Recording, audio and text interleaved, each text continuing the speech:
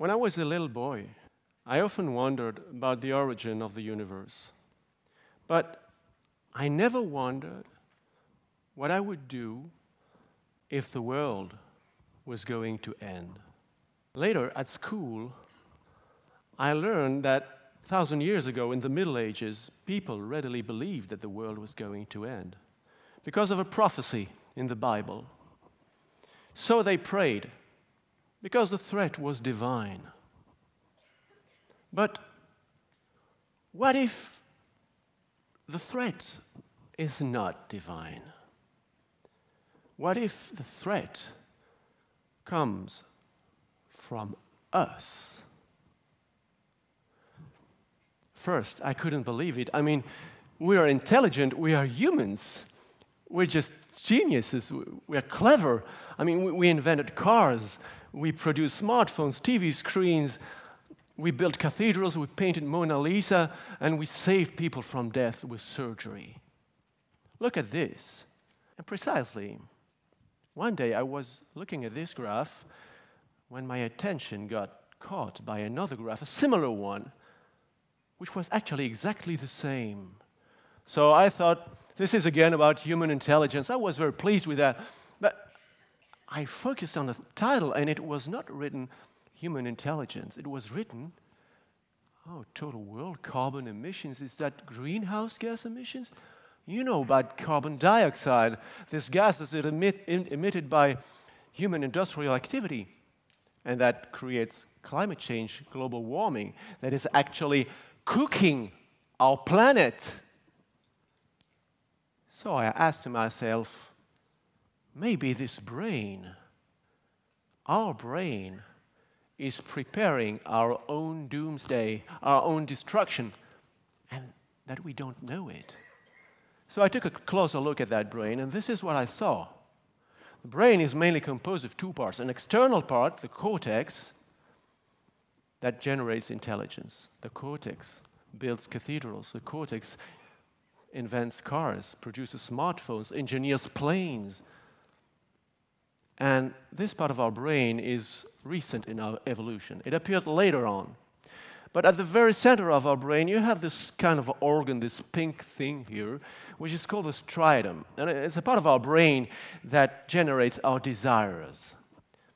And by giving us pleasure with a molecule called dopamine.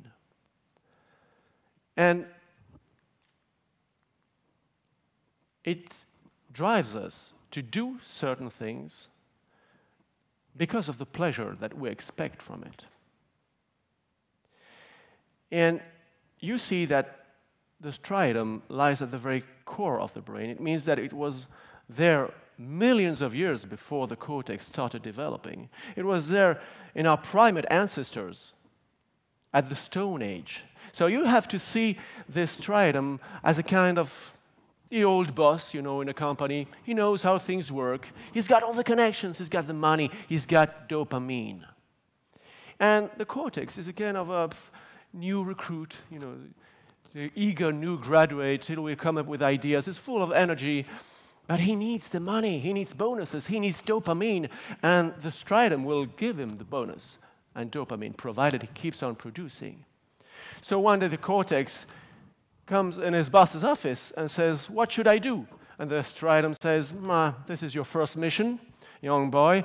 I want to get me some food.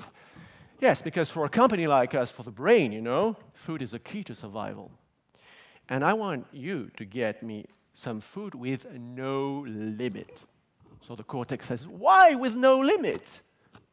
If you had been hanging around in the savannah for millions of years like me, my young boy, you would know that each time you could catch a prey, you'd better eat as much as possible because you weren't sure to find another prey like this within weeks or months. So do as I say. You're intelligent, you're smart, and I will give you the bonus. Find a solution. I'll give you the shot of dopamine. So the cortex started looking for solutions, and he was really very clever. So he found solutions.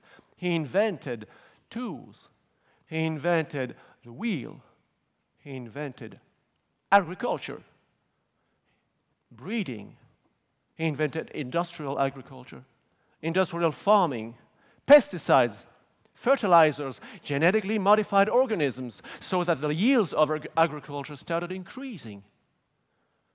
And the striatum was pleased, and he started eating, and he kept on eating and eating, so that there was an epidemic of obesity and that the 13% of humans became obese, and that people started dying more of obesity and overweight than of malnutrition. And that industrial agriculture accounted for 20% of all greenhouse gas emissions. So the cortex came back into his boss's office and said, Are you satisfied? And the striatum said, No, I'm not. Now I want sex. And I want sex with no limit. And the cortex was panicked, saying, Sex with no limit? But isn't it a bit exaggerated? Striatum said, You seem to be the kind of guy who likes to have explanations, so open your ears. I'm going to tell you. You know, I have orders. There is a big board above my head. It's called natural selection. And the orders are clear. I must transmit my genes. I must make more copies of my DNA than my neighbor and my rival. This is the law of the jungle. So go and get me some sex. You're talented, you're gifted, you did well, so continue. I will give you the shot of dopamine. And so the cortex got back to work. And he was much more than clever. He found a solution. He invented the internet. And he invented dating websites and pornographic websites. And the striatum started viewing, viewing 24 7 so that humanity started consuming 136 billion pornographic videos a year, which represented 35% of the whole digital content, which accounts for as much as greenhouse gas emissions as the air traffic. So the cortex came once again back in his boss's office and said, Now are you satisfied? The said, No, I'm not. Now I want to be the boss The cortex was amazed, said, why do, you, why do you want to be the boss? You're already my boss. Why do you want to be the boss? And said, I have noticed something during all these millions of years spent in the savannah among these groups of hominids on Homo habilis, Homo erectus, and Homo sapiens, I noticed something very interesting is that the more social status you get, the more access you have to food and sex. So I want to be the boss. You did well on your first two missions. Don't disappoint me. You're clever. You're going to find solution. You're awesome. So do it, or I stop dopamine. So the cortex got back to work. And he invented social media. And people started clicking on buttons to get more likes than their neighbors, get more likes than their colleagues, their rivals, to get more views, to get more prestige, more friends. And the Cortex invented cars with all features, with all sorts of gadgets, so that people started buying a new car every two years to get one more gadget than the neighbor to improve their self esteem and their social status. And the striatum was pleased. But one day, the cortex came back into his office and said, Look, we have a problem. Um, we are running out of natural resources uh, temperatures are rising, uh, sea level is rising. Um, maybe it's time to slow down a little bit. And then suddenly the striatum stared his employee right in the eye and said, You don't seem to realize what it's all about, man. We are not alone. There is competition. If we don't increase production, the others will get the markets and we are going to be fired, you and me. Is that what you want? Uh, no. Is that what you want? So the cortex got back to work. And he increased production. But a few months later, he came last time into his boss's office and said, um, Boss, uh, I have to be frank with you. You know, I'm intelligent. Yes, you're very intelligent. You're clever. You're awesome. Your brain volume has never started increasing during all our presence on Earth. So tell me, you know, I'm intelligent, so I can read um, scientific data, I can decipher graphs, and now it seems that if we go on like this, in 30 years, we are all going to be dead. And the striatum burst out laughing and said, What did you tell me? In 30 years? You mean 30 years of time?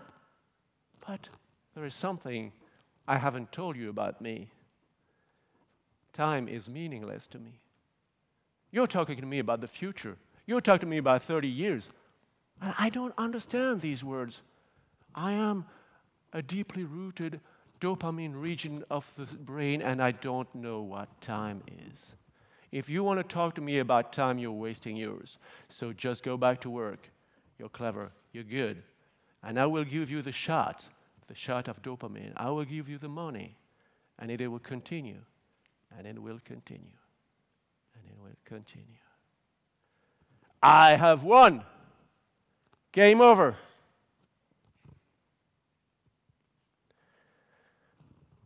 So here I am back again, wondering about the origin of the universe. And this morning, in the newspapers, I read a very interesting article about a study carried out at the University of Zurich. In this experiment, people, men and women, were put in an MRI apparatus to measure the brain activity while they were performing a cognitive task they had to choose between keeping a given amount of money for themselves or sharing it with a total stranger. And scientists observed that men kept the money and that their striatum released dopamine, which was quite logical, but that women tended to share the money and that their striatum released dopamine too. And this was very surprising. This experience this experiment showed that women can get pleasure, a biochemical pleasure, by giving and by sharing. And the explanation for this in the, in the article was that it was due to education. Because as young girls, from their very childhood, little girls are valued socially and encouraged each time they give, each time they share and so they are given social status, which is what our striatum wants the most. So, what if we could use our dopamine not for ourselves, but for others, not for accumulating things, but to give them?